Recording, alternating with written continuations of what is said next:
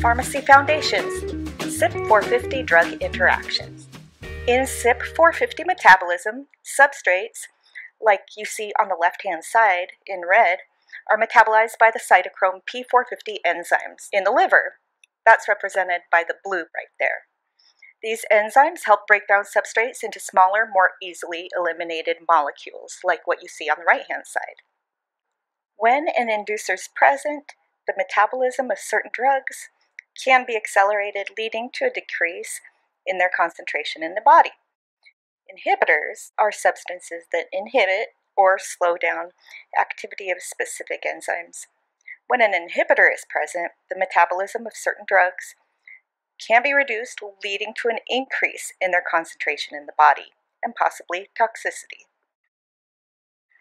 An easy way to remember this is that inducers decrease while inhibitors heighten the level of the substrate in the blood. Understanding how drugs interact with CYP enzymes is crucial in determining drug efficacy and potential drug drug interactions. Some drugs can act as both inducers and inhibitors. They can even act as substrates. For inducers, we have an acronym to help us remember PS PORCS phenytoin, smoking, phenobarbital, oxcarbazepine, rifampin, carbamazepine, and St. John's wort. Back to the C, carbamazepine, which is an autoinducer. You can remember the car in carbamazepine means that it's an autoinducer. An autoinducer means that it's not just an inducer, but it's a substrate as well, so it induces its own metabolism. Another mnemonic that we might use instead of PS PORCS for inducers would be senior cops. Let's say senior cops induce decreased crime. All right. Inducers decrease, while inhibitors heighten the level of the substrate in the blood. To help you remember inhibitors and the acronym G-Pacman, I made a goofy Pac-Man. Pac-Man is goofy from toxicity, and inhibitors can cause toxicity. G-Pacman, grapefruit juice, protease inhibitors like ritonavir, the booster, azoles, cyclosporine cobicistat, cimetidine, macrolides, not including azithromycin, amiodarone and dronedarone, non-DHP calcium channel blockers like diltiazem and verapamil. These are the drugs that can potentially cause toxicity of the substrate. Inducers and inhibitors are the bullies, while the substrates are the victims. We get toxicity of the substrate or inefficacy. So the bullies don't change. The inducers and the inhibitors levels don't change but the substrate levels do. They're getting beat up because they're the victims. The levels go up or down. A prodrug is a type of inactive compound that's converted into an active drug in the body through various metabolic processes. So it's a precursor to an active drug.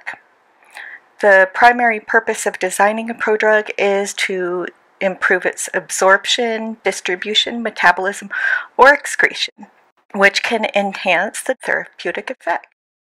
Key differences between a prodrug and an active drug lies in their pharmacological activity. The prodrug itself has little or no therapeutic activity until it undergoes a specific biotransformation. An example is lisdexamfetamine. Its Vyvanse is a prodrug used to treat ADHD. It's converted into dextroamphetamine in the blood, but it provides a slow and steady release of the active drug, leading to smoother, longer lasting effects compared to traditional amphetamine. This sustained release helps maintain a stable therapeutic effect. It has no action if injected or snorted and reduces the potential for abuse or dependence of this controlled drug. Now let's continue with CYP enzymes and their common substrates. We have CYP3A4 substrates, and we've organized them according to the alphabet. We have anticoagulants like apixaban, rivaroxaban, and the R enantiomer of warfarin not the major one. Then we have benzodiazepines, except for the lot drugs. You know the lot drugs, they're metabolized via glucuronidation. glucuronidation.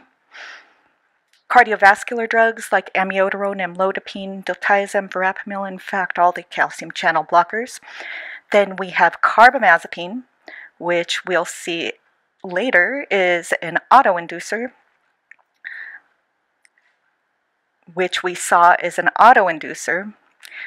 Then the dones, which are analgesics, hydrocodone, methadone, oxycodone, ED drugs like sildenafil, fentanyl, hormones like ethinyl estradiol, levonorgestrel, progesterone, HIV drugs, atazanavir, ritonavir. So we have some protease inhibitors that are substrates.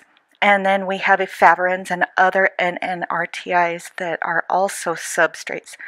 There are the statins, not all of them, but we have lovastatin, atorvastatin, and simvastatin. See, I just remember L-A-S, LAS, as in Las Vegas.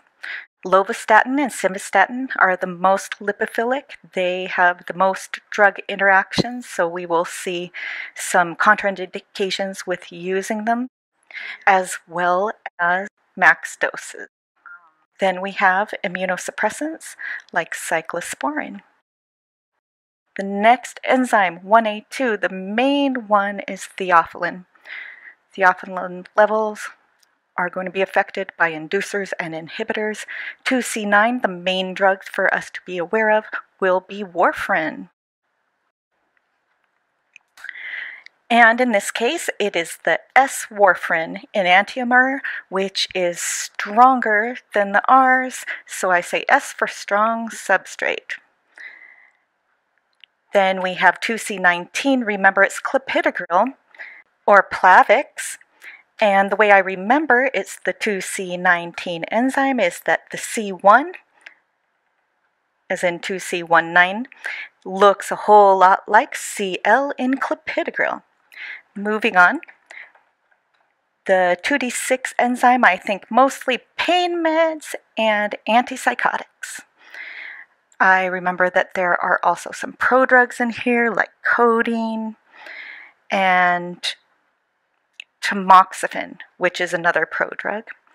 On this page, I starred and highlighted the prodrugs like clopidogrel, codeine, tramadol, tamoxifen, and we'll remember that they will have effect.